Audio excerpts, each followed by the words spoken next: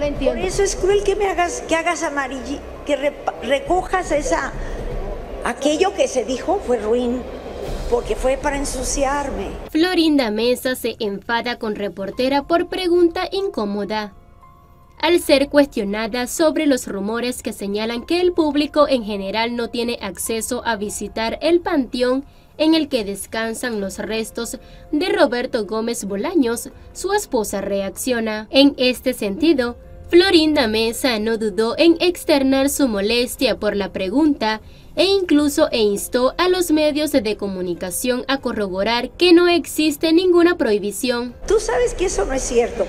Si estás buscando una pregunta especial, Mejor hazla, búscate otra, porque esa es vieja y ya se aclaró. Motivo por el que el personal del conocido matutino de la televisora del Ajusco se acercó a verificar si es rumor o no la limitante que hay para acceder como medio o público a la tumba del comediante Chespirito. Con una cámara escondida se aprecia que la comunicadora cuestiona al vigilante y este le responde que no pueden grabar porque tienen circuito cerrado.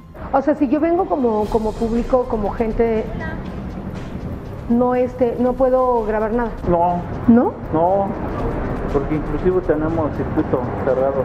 Además, indicó que solo con autorización de la familia, la prensa puede ir a realizar trabajos periodísticos que estén plenamente coordinados con anticipación. Hasta que autorice la, eh, la familia. La familia, una autorización.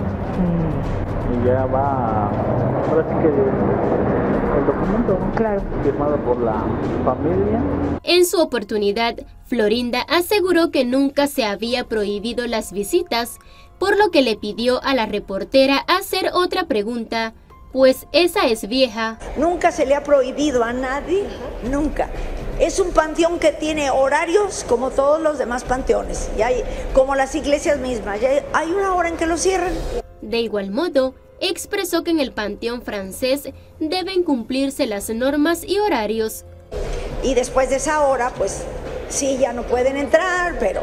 También dijo que la periodista usaba argumentos ruines para cuestionarla porque se basa en calumnias contra su imagen. Por eso es cruel que me hagas, que hagas amarillo, que recojas esa, aquello que se dijo fue ruin porque fue para ensuciarme. Dejó claro que su esposo fue el hombre más feliz con ella y viceversa, pues de no haber sido así no hubieran durado más de 40 años juntos. Mi marido fue el hombre más feliz conmigo y yo con él.